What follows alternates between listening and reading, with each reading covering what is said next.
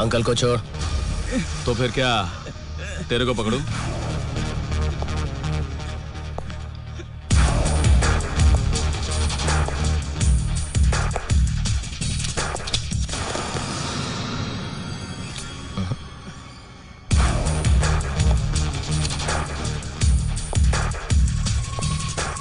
छोड़ वरना इधर ही काट डालेगा।